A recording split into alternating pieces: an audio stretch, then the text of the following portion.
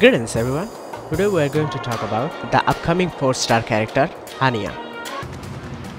Hanya is a 4-star physical harmony character that can recover your skill point through her skill and every ally that has their skill point recovered through her skill will have a damage dealt increase and her ultimate increases your speed and attack of a single ally.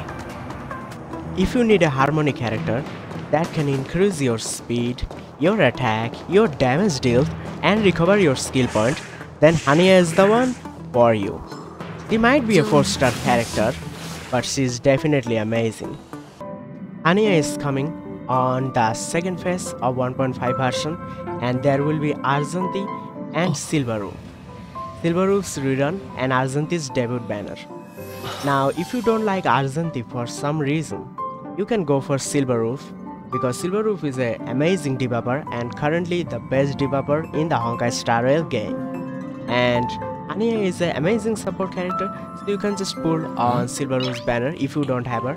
So you can get a extra amazing support character and not have any problem of getting a DPS character you don't want. Because the support character is always appreciated in games like Genshin Impact or oh. Honkai Star Rail.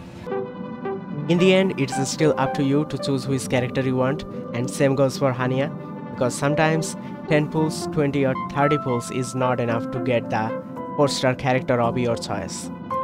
So, thank you guys for watching this video. See you next time.